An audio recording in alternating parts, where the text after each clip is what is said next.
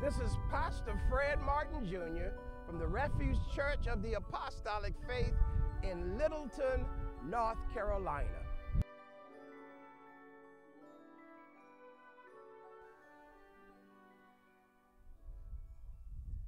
The Gospel of St. John, chapter number 4, records the story how that Jesus, leaving Judea, heading to Galilee to escape the aggression of the Pharisees, decided to take a trip through Samaria. Now, normally, Jews would go all around and out of the way to avoid contact with the Samaritans.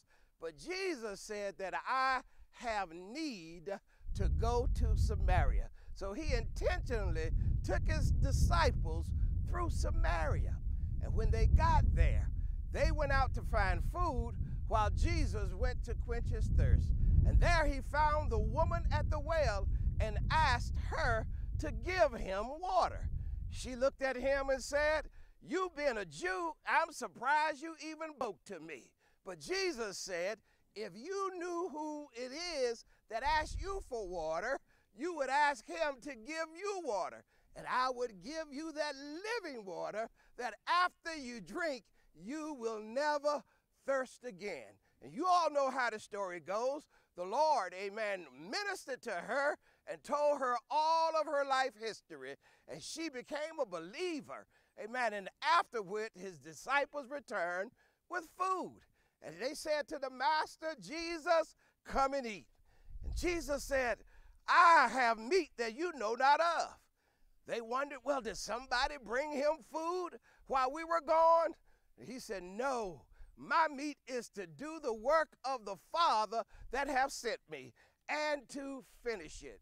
We as believers must understand, amen, that it is our job to do the work of the harvest.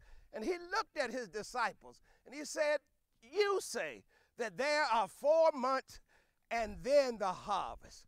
But I say, lift up your eyes and look on the fields, for they are already white and ready to harvest.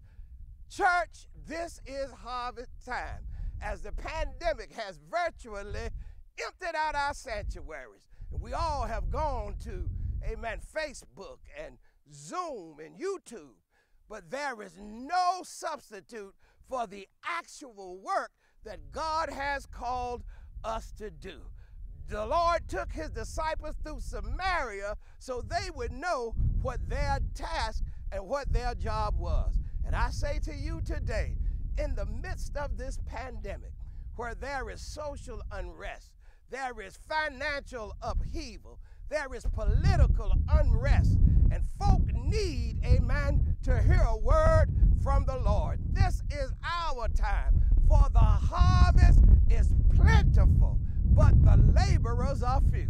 I implore each of you to put your hands to work to do the work of the Lord that have sent you, for the harvest is plentiful and it is ready to be harvested.